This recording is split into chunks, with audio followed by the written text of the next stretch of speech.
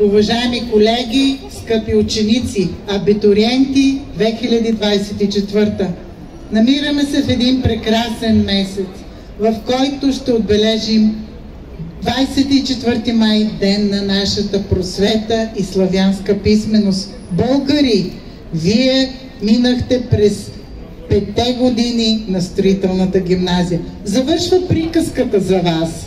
Последен учебен ден и предстоящи изпитания. Да не забравим 17 и 20 май, прекрасни, прекрасно изкарване на бала на 24 и пожелавам с всички от вас юни месец да се видя, да поемете онзи документ, с който вие ще влезете в живота, защото сме сигурни, че сме изковали едни здрави, усмихнати, устойчиви млади хора.